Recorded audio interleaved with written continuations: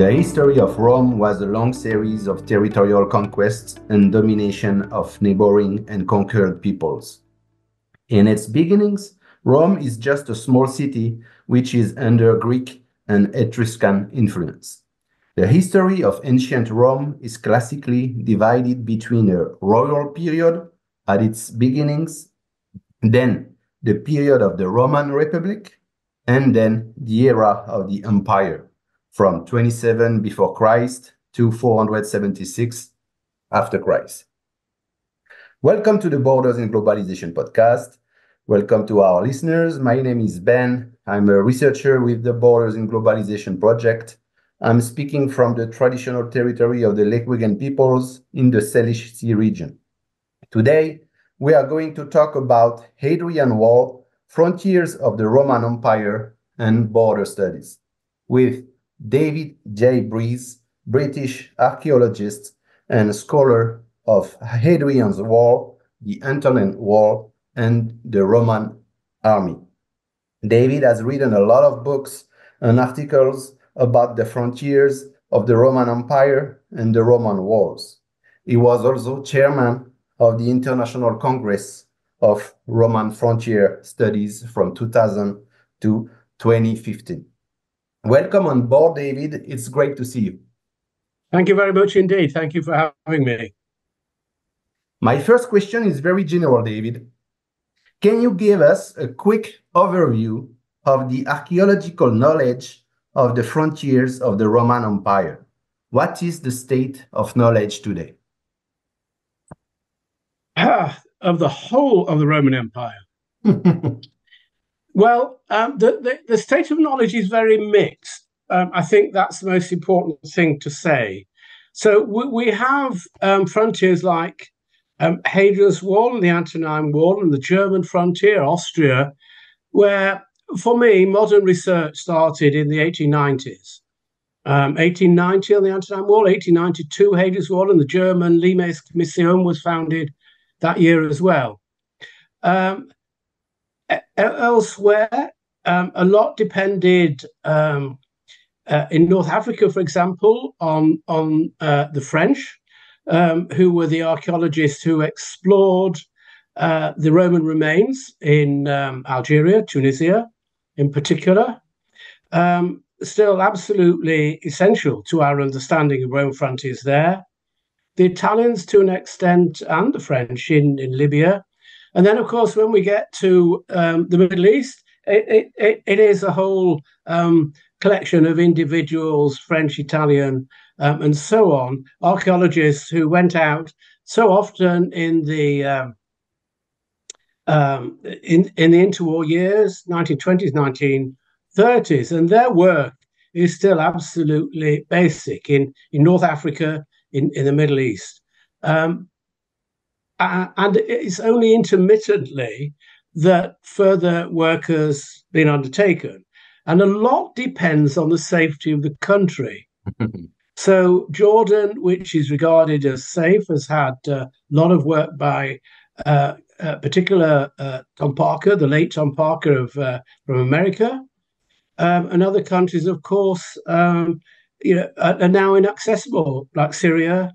Um, so uh, the, the the answer to the question is our knowledge is very mixed, uh, and it, of course, that's unfair on the countries where we haven't been able to do much recent work. Mm-hmm. Um, because if you like, uh, Wall with uh, where are we now? Two, two, 200 years of excavation.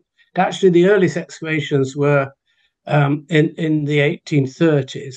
Um, the knowledge has been to, built up. Um, and if we're not careful, we assume that these European frontiers are the norm, and they're not um, each frontier has its own particular um, uh, a background uh, uh, of archaeological information. Uh, and and we should all re- re- respect that and uh, try to take into account when we are uh, dealing with different frontiers the traditions and cultural background of each country in the empire. Great. Thank you, David, for this rich historical and complex synthesis. Border studies always ask questions about the linear or zonal nature of borders and the function of separation and or their function of cooperation. About the Roman Empire, we also know the expression imperium sine fine, an empire without end or limit. David, what have been the functions of the frontiers of the Roman Empire? Yes. Um, I'd like to start off in a sort of an oblique way. One of my professors at university said Roman frontiers um, are an example of failure. Mm-hmm. It's the failure to deal with um, th- that statement you've just given us. Uh, to, to Rome has given you power without limit, without end. Um, and this, of course, didn't happen. Um, so frontiers are intimately related to how the Romans perceived themselves. Um, and in a way, of course, it's no different today. Um, but uh, for the Romans, um, they, they, they, they saw themselves um, conquering their own world. Now, it's not as simple as that, of course. In North Africa, they realized pretty quickly um, that um, the Sahara was there and there was nothing in it for them. So the strip in North Africa is quite narrow. And on the whole, there wasn't much in the way of a linear barrier. The linear barriers we have seem to deal with more like transhumance than they do with um, controlling the movement of people in and out. And in the Middle East, um, uh, the, the situation again is different. I mean, here we also have a desert, of course, Syrian desert and Jordanian desert in the south, um, which is where the frontier actually follows the 250 millimeter isohyet. The frontier follows the line at which agriculture ends being possible. Mm. So they don't they don't go further east because you can't grow stuff there. You can't grow material to crops to feed your animals as much as feed yourselves. Uh, and then in the north of um, these the Middle East um, is Parthia and later Persia. So that that is that is a boundary forced on Rome. Europe, of course, um, is also remains complex. Um, we've got the great rivers. The Romans liked uh, uh, strong features. Mm-hmm. Tacitus comments on the rivers Rhine, Danube, Euphrates. So um, the boundaries uh, relate often to, to, to rivers, uh, but they um, they move a, uh, forward in Germany from the the upper reaches of the Rhine and Danube, and they also in um, in in the east they take into account Dacia into the empire for a, a 150 years, um, partly because it was a very rich area, uh, Transylvania. But are these um, are these in Europe? I mean, we the cr- absolutely crucial thing is the frontier here is different. Um, Africa, the frontiers make themselves. Um, the Middle East, the frontiers make themselves. In Africa, the Romans tried to go forward to the, they got to the Elbe, probably across it under Drusus in, um, in, in the early years of the Common Era. Uh, and then they stopped um, and, and had to withdraw because of the Great Rebellion of AD 9. And it's only then, and over a hundred years, that we see the Romans slowly accepting that they weren't going to conquer the world. Tacitus, a year after, a hundred years after the great stop, the great moment of stop in Germany, says the conquest of Germany is taking a long time. but at the same time, the disposition of Roman forts is demonstrating that it is actually come to a halt. Um, and we can we can see that first of all, um, there was a great there was a strong build up of troops in what is now Germany and the Netherlands because they were expecting to move forward into Germany. And then, and um, in the um, uh, 80s, the enemy becomes Dacia, modern Transylvania in Romania. So four legions are moved to the east. Um, and, and one of the problems when we're looking at frontiers and trying to work out what they're for and how they operate is um, you've got to think also of enormous numbers of men. I mean, a legion's 500 men, you've got to feed them. And the rivers become really important because they're great supply routes. So it is the situation, the um, the answer is not just military. It relates to the supply of the army, uh, but even so, 500 men's a lot. And you've got other smaller units in, in, in each province, so 500,000 each. So gradually, what happens is the front the, these units are spread along a line, the, the Danube, the Rhine, um, in particular. Um, and we've got to ask ourselves, um, first of all, is this to do with um, uh, supply or is it to do with defending the empire? And of course, this is where linear barriers come in um, to come straight back to your question, these are really important because they absolutely shout at us. These are defensive. But your question is, are, is that really true? Yeah. Um, you know, you couldn't stand on top of the German fence unless you were in the Roman army acrobatic corps um, and throw spears. Um, possibly not even on the top of Hadrian's Wall uh, because we see the bottom part is very broad, but the top might not be. Um, and the Roman attitude is not to fight from behind walls, but as jo- uh, Robin Collingwood said 100 years ago, if Hadrian's Wall was attacked, they would open the gates um, and march out into the field to fight. That's the Roman way of doing it. So we've got we've got to tease out why they bother to build these linear barriers, and it may well be nothing more to do with it's the best and easiest way to protect the empire from what happens on every frontier throughout the history of the empire, which is raiding. Okay. Okay. Thank you, David. Thank you very much uh, about this synthesis of the about the complex question of the functions of the frontiers of the Roman Empire.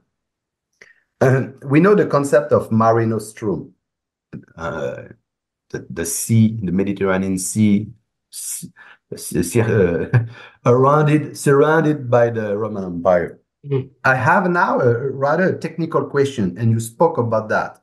Uh, we often talk about the Roman limes.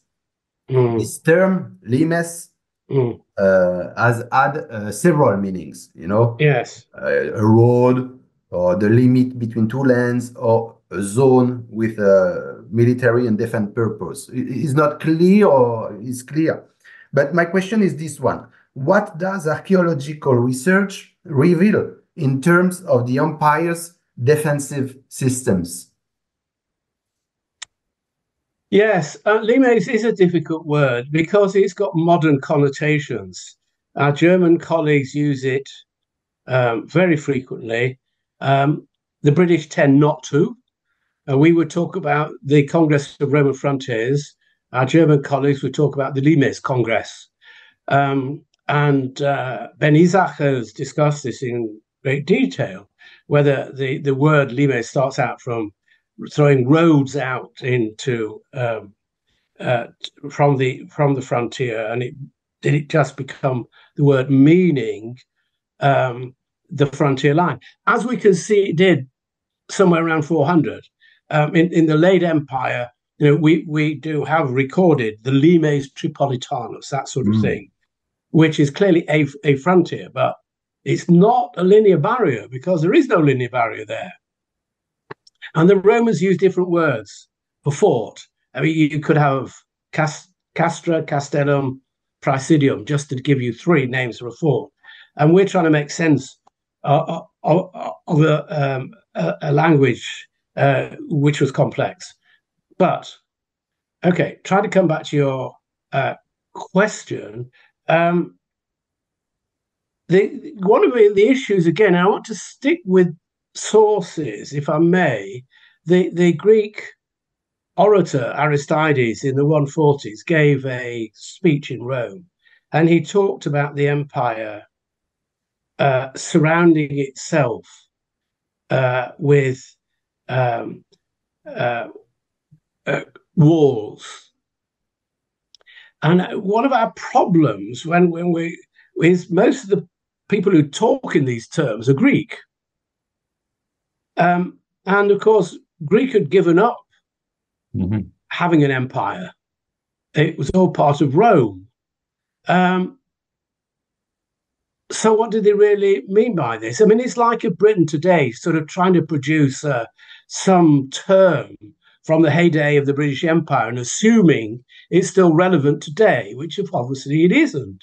Um, and and so we've got these phrases like, um, you know, is it Appian who says, well, you know, the, the, the Romans the Romans control all the world, world that's worth having. Um, but is this real statement, or is it just a justification mm-hmm. that they have stopped expanding? So we have a you know a, a real problem. What what in trying to make sense of these statements from antiquity, what we can see, I think, clearly enough, is what the Romans are doing with their forts is to protect the edge, the uh, the the empire by um, uh, having a military presence round the edge. But um, where are we? Uh, four years ago, I organised a session at a conference, um, and we started out. The aim was a debate, and we started out with 21 reasons which had been given for the purpose of Roman frontiers. And we narrowed this down to eight. Good job. And um, so each speaker, specialist in the area, the period, had 10 minutes to justify to his audience, and, and unfortunately, it was all men, his audience of the function. The one that won was it was to prevent raiding. But amongst others were frontier walls like Hadrian's Wall, uh, big forts like Bu Njem in North Africa were big in order to impress the people on the other side, um, act as a symbol for Roman power, and intimidate them into not attacking the Romans. Mm. And that so we've just got two examples there. One colleague talked about them really to do with defense.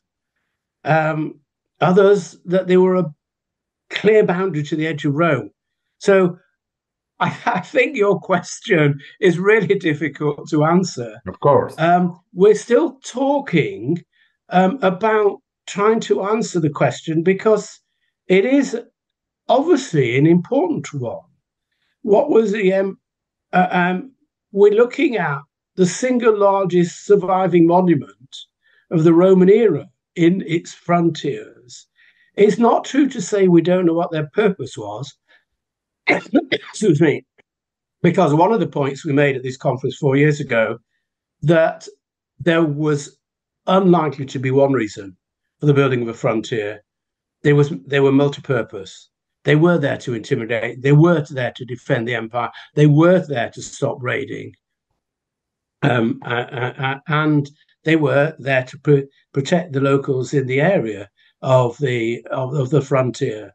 Um, as Eric Birley put it in 1956, uh, when the Western Europe was being protected by the American shield, um, possibly a you know comparable situation. Um, he wrote a paper saying that Roman frontiers were there to uh, allow the peaceful economic development of the land behind. But all of these could operate together. Yeah. Yeah, very right. Very right, David. And thank you for this clear answer. now we can explore a little bit more the military dimension of the Roman Empire. And my question is this one How was the Roman army organized on the frontiers of the empire? And finally, David, how did the Roman Empire see what was beyond its frontiers? Uh, sorry, uh, can you just re re repeat the, the second part? I missed. Yeah. How, how, did it about the army? How was the the Roman army organized on the frontiers of the empire? I know the legends have been moved in different pla places at different times. And finally, uh, how did the Roman Empire see what was beyond its frontiers? Mm. Um, imperial powers have a really different attitude to the world than non-imperial powers. Yeah, good. You're talking to me from Canada. The foreign, the basics of the foreign policy of your country are very different from your southern neighbor, yes.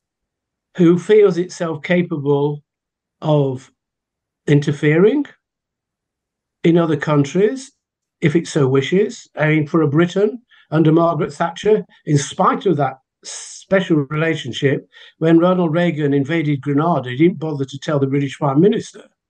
That's how an imperial power works. Um, so um, when we're looking at uh, all of uh, the Roman world and what the Roman commanders thought and the Roman army thought, they didn't see the world as divided uh, between two sovereign states. Yeah.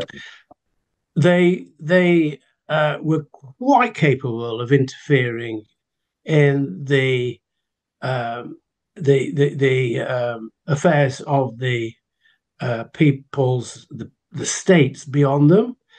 Um, uh, we know that um, Antoninus Pius gave a king to the Quadi who lived beyond the Danube. He gave a king to them. Um, it, it's just the extreme point of the Roman emperors wanted to make sure that the king um, of the state beyond them uh, was pro-Roman. So they were quite happy to interfere and get rid of the um, the the um, of one king and replace him by another. Uh, in uh, the the other flashpoint, of course, is Armenia, where um, uh, both Persia and before then Parthia and Rome felt that uh, they wanted to maintain that as neutral, if at all possible, and if not neutral, have a king who was on their side. Uh, and you see this in all the diplomacy which takes place under, say, Antoninus Pius, and kings coming to Rome hostages in Rome. Um, um, I mean, the great series I Claudius, which is of course based on uh, Suetonius's accounts of the emperors, but you know the um, the king uh, Herod uh, uh, uh from Judea is being brought up in Rome, so they go back to govern their own countries as um, it, uh, as friends of Rome. So when we're looking at this, what we, we have a, is a boundary, and the Romans understood boundaries. They, you know, great mappers. Uh, they uh, they they understood where the empire stopped, uh, but they equally understood that they had the power to intervene beyond it. So um, this is this is what happened. Um, time, uh, we we've got a well a, a particular fourth century uh, commentary, which I like very much, when the army uh, uh, had pursued uh, uh, uh, a whole group of people who had attacked the Roman Empire. They pursued them into Germany, and they got to a place, and they knew what it was. It was a Roman fort that Trajan had built 200 years before. I mean, this is amazing when you think about it. Yeah. Um, so you, they've got an enormous amount of knowledge as, as well to get them around. Uh, not always did it work in their favor. But so you you got the sovereign state who was prepared to intervene beyond, but it didn't necessarily have to be militarily. It could be by um, diplomacy, um, as I, I, I, I, described, and all of these as, aspects um, work together uh, to to to to create and support the Roman world view, um, just as uh, they had what we would call in the early empire client states. So they would have, um, particularly on the eastern frontier, these Greek kings who, who were uh, were both supported by Rome and supported Rome. Yeah. Uh, insofar as you could see when um, Trajan preparing in 113 to attack Parthia in the middle of modern Turkey met the local kings and wanted to know what troops they were going to provide for him. So you got a relationship which is very interesting both ways and very interesting for a student of the British Empire. Because when you look at, say, the United Arab Emirates or Qatar um, or, or, the, the Middle Eastern countries, they were never technically, on one level, part of the British Empire. They were protectorates. Yeah. And it's a very Roman way of um, controlling people on your boundaries or we people you wanted to control. And of course, I mean, depends what your boundaries are.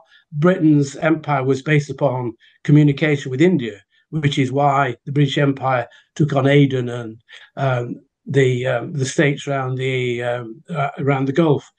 Um, that was very, but the the attitude is very similar to Romans. I've wandered far from your question. no, perfect, David. It's perfect. Uh, we we understood uh, that the the frontiers of the Roman Empire were built with a, military dimension, but also with a strong diplomacy dimension. Uh, if if I could summarize uh, like that. Yes. Uh, let's talk now about uh, the Emperor Hadrian. Hadrian mm. was born in 76 and he died in 138. He succeeded Trajan in 117 and reigned until his death. We know that uh, Hadrian visited almost the entire Roman Empire and also its borders. David, who was Hadrian and what changed with Hadrian's rules in terms of the empire's frontier strategies? Yes, a very good question. Who was Hadrian? Hadrian, on one level, was a normal Roman aristocrat. He went through the um, career of an aristocrat serving in the army, um, command, governing a province, forming uh, part of Tra- Trajan, who was his cousin's um, entourage. Um, so he had a lot of experience in the army. Um, and I think this is important for us to, re- to remember because he had seen Trajan's wars in action in Dacia um, in the first years of the second century, and again in the second decade in Parthia. And it's interesting, you see. I mean, Trajan, yes, Trajan conquered Dacia, but it took him two goes. Yeah, I mean, he's it, it, an enormous army. Um, and the, the, Hadrian, I think we can assume, had taken the lesson from this. It can take a lot of effort to crack the nut.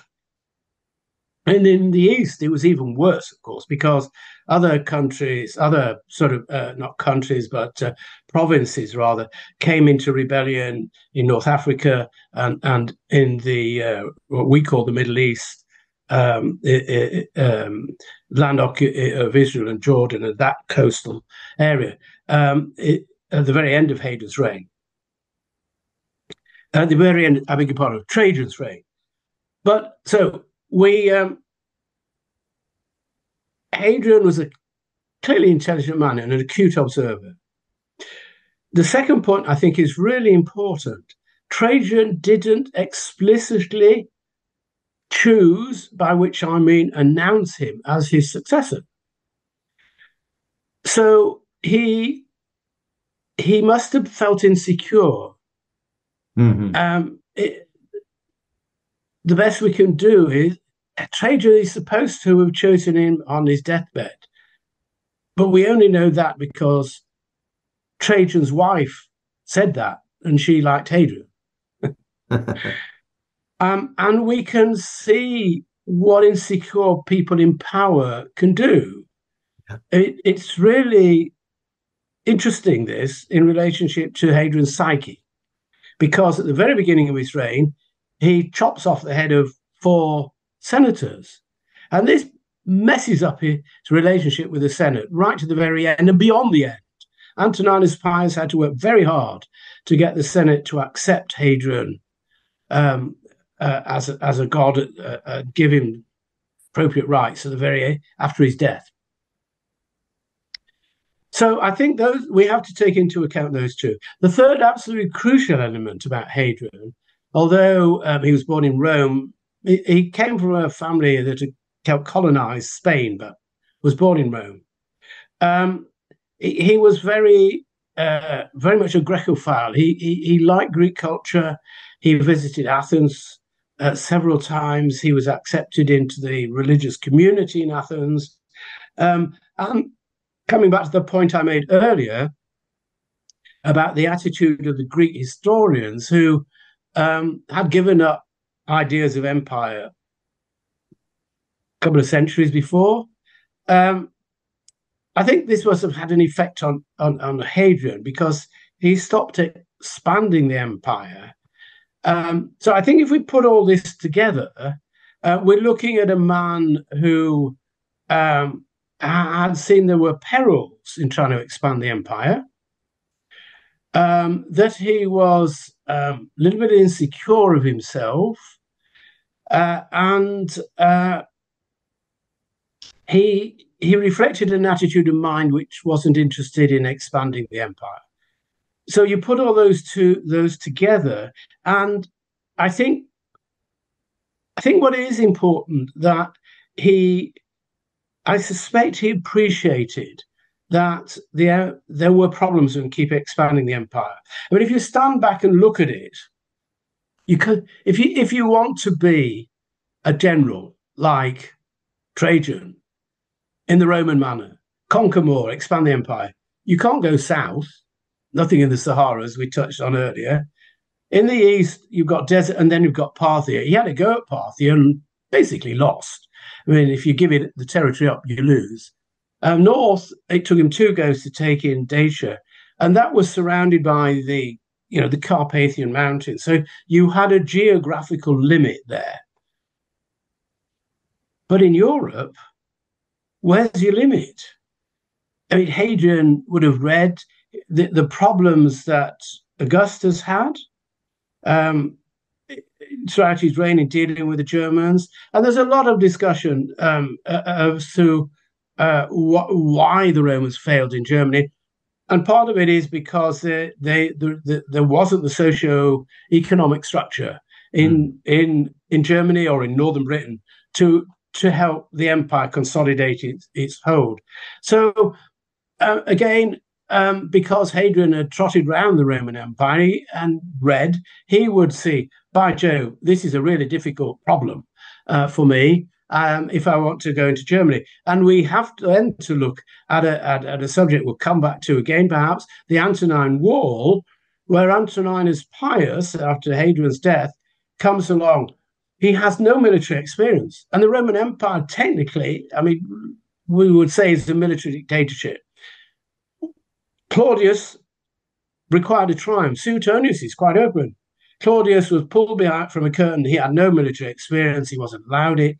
He was regarded as the, the fool of the family. He needed military experience. He came to Britain to get it. And he was sensible. He didn't go into Germany because Britain's a finite area. Antoninus Pius, what does he do? He comes back to have a go in, in, in Britain and he goes in for a limited conquest in a place where um, there were there couldn't be a great conflict of energy of enemies fighting him. It's a limited operation. Um, and I think if, if, we take that into account and think of Hadrian, he's, he's taking this sensible way out. He's saying, right, these are the borders. Like every emperor, every king, every prime minister, every president, they can't control things from the grave. So, of course, Antoninus Pius comes along and abandons Hadrian's wall. But, that, but what he then does is build another wall. Thank you, David. Yeah, exactly. I think you're completely right about who was Hadrian and the big move, the big changing in the mind of this empire connected to the, these borders of this of this Roman Empire, which finally reaches is is li limits, social or political limits. Yes, but I mean, what, what I find interesting is this um, idea, as you say, of uh, uh, uh, empire without end, imperium without end.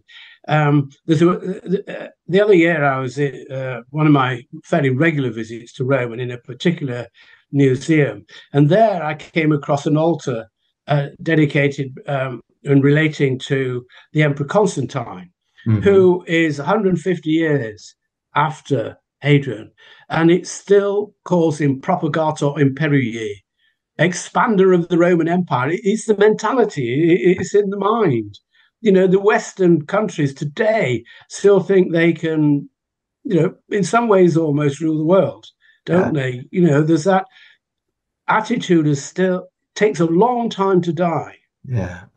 yeah. I couldn't talk to my father in law about the British Empire because for him, Britain was only great when it had an empire. For me, Britain is great when it doesn't have an empire. yeah, it's true. It's true. Yeah, it's complex, huh? These different views. Yes. Yeah. Um, and David, now let's talk about the, the, the, famous monument, and you spoke a little bit about that, uh, this famous monument that bears the name of Hadrian. In 2022, Hadrian's Wall celebrated his its 1900th anniversary. What is the history of archaeological research on Hadrian's Wall and what were the functions of Hadrian's Wall, David? Yeah. Yeah. Well, let's start off with you ask is the history of archaeological research. Um, it, it's worth acknowledging that knowledge of Hadrian's Wall wasn't ever lost. There's a wonderful little book by Bill Shannon who looks at knowledge of Hadrian's Wall in the Middle Ages, right through from the very end uh, of the empire in the fifth century. Um, and what Ve- the Venerable Bede, whose book uh, was completed in 731 AD, uh, he wrote, he understood quite a bit about the empire, that there were two frontiers, for example. Um, but um, the, this knowledge moved uh, was there. Uh, the great impetus to research took place, the first great impetus in the Renaissance, because the printing press was invented. So books which had been in monastic libraries could be published. So there was a great outpouring of information. Um, and the classical sources were available for study. This didn't always help. Um, the um, uh, some people could very clearly see that um, it was Hadrian. This is in the 16th century. Hadrian had built Hadrian's Wall. It was there; they could read it. Uh, but the, the problem for the Brits, as Bill ha- Shannon points out, the, the English, I beg your pardon, is that the two absolute first statements were made by a Scotsman the um, old enemy of the English that Hadrian built the wall, and the second was by an Italian. Oh my God, he was a foreigner and he was a Roman Catholic to boot, and this is a Protestant country, so he wasn't believed. I mean, um, so we had this information from the 16th uh, century about who built the wall, uh, but it it it it, it wasn't accepted uh, for another uh, 250 years. 1840. So my next uh, big date is about, um, uh, well, 1599 will do. Um, a man called uh, William Cam- Camden, um, who endowed the professorship in Oxford, uh, in his day, and Robert Cotton came to explore and write about the northern frontier. So at that time, we've got a clutch of uh, explorers, basically, who are writing because this is real bandit country in the this time, uh, writing about Hadrian's Wall. So we've got the start of descriptions. Uh, the next really big point, I think, is 1840. A man called John Hodgson, very clever, worked out that it actually, really, seriously, chaps, was Hadrian that built Hadrian's Wall. Um, and uh, we really, it, it still took 50 years for that to be accepted. They're still being argued about at the end of the century. But the other the other date, and the, really the last date, is 1892, when what I think of as scientific archaeological research started. Not as we know it today, um, but since then, there has been a continuum. So for me in Britain, the, the, the, my hero is John Pattison Gibson, who in 1892 dug a turret in Hadrian's Wall. He then started collaborating with F.G. Simpson, who collaborated with Ian Richmond and Eric Birley. And Eric Birley was my professor. Okay. So there's a continuum there of excavation and survey and thinking and writing about Hadrian's Wall. Uh, and of course, you know, hopefully we've got more uh, sophisticated and we've got better tools. They still don't, in themselves, define a definitive um, definition of what the purpose of Hadrian's Wall was. I mean, I, I'm perfectly clear in my own mind um, and I belong to one school, which uh, really started with R.G. Collingwood, who was professor at Oxford. 1921, he wrote a paper and said Hadrian's Wall was not defensive. Why? Because the Romans weren't equipped with defensive weapons. You had two spears. Once you throw new spears from the top of Hadrian's Wall, you don't have any spears left. Although they were trained in bows and arrows, um, on the whole, the, not all units on the in the army had them um, the the um, they didn't have enough men to man the whole line of Hadrian's Wall. There weren't enough access points, and it was in any case completely against the Roman attitude of mind, which, as I said earlier, if it was attacked, the army would open the gates and march out to defeat the enemy in the field. Uh, so um, that's one view. Um, it, has it, been discussed and uh, since, uh, but Collingwood, I think, for me, really has the um, the the, uh, the edge there. The other view is that it was defensive in some way, um,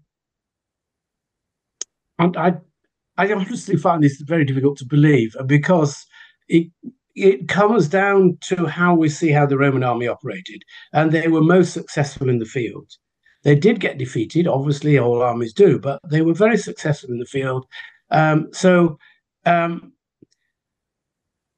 there is that's how how I personally see it, and a lot of my research is looking at the available evidence. Um, in 1969, on the then pilgrimage, pilgrimage of Hadrian's Wall, one of my professors said, you know, "We every picture we see of Hadrian's Wall has a parapet along the top, and it's soldiers on it. Sorrell's very famous painting. Um, it, it's bizarre when you look at it. There's a soldier with a standard standing on the top of Hadrian. He wouldn't have a standard on the top, standing on the top of Hadrian's wall, and they're not looking to the north. They're chatting to their mates in the down below the wall in the, on the south. But um, once you start, what's in everybody's mind is they look at every reconstruction of Hadrian's wall, and it's got a parapet. But when you start analysing the evidence, um, where are we? There's no Hadrian's Wall nowhere stands more than say three meters high. So we don't know what the top was like, and that three meters that we have is where the wall's quite narrow, um, just o- just over two meters wide. So and, and if you start thinking about it, okay, okay, we, will put a parapet up there, but your wall's only seven foot six wide in modern uh, uh, measurements, and you've got to have a parapet at the front. But if you were 12 or 15 feet high above the ground, then you would want a parapet at the back, wouldn't you? If you were strolling along in the gloom and the snow and the blizzard and so on, you would want to be protected from not being blown off. So by the time you've taken off, um, you know, uh, a, a, foot or two on e- each side, you really don't have enough space anyway to lean back with your spear and throw it. It's too narrow even for that. And if you're carrying a bulky shield around, you'd hardly get in and out of the doorway because it's so bulky. So I think there's a lot of new thought going on about the function of Hadrian's Wall. It's really important you've raised this because we, we are teasing away at the evidence, but we all come back to our own prejudices. My view of the Roman army won't put it on top of the wall, uh, patrolling it. Uh, for other people, um, even if pushed, they will say, ah, well, yes, okay, um, it probably wasn't patrolled. But if push came to shove and the wall was attacked, soldiers will run up there to defend the frontier. And I'm just saying, no, go back to Collingwood. That's not how the Rome, my view of how the Roman army fought. So it's a really important question you ask, and it's a really exciting one because it um, the whole business of how we understand these frontiers yeah. tells us a lot about how the empire uh, operated as well. Lines of command, um, who took the decisions. When you look at the building of Hadrian's Wall, which we've touched on, um, the way that it's built and the changes in particular that's made, and there are there's about two dozen changes during the building of the wall, reflect on what the Roman army was seeking to achieve, and the fact that we have in the the, the main second phase, the forts actually placed astride the wall emphasizes for us an intention to involve themselves, either being defending themselves or attacking beyond the wall and not just from the wall itself.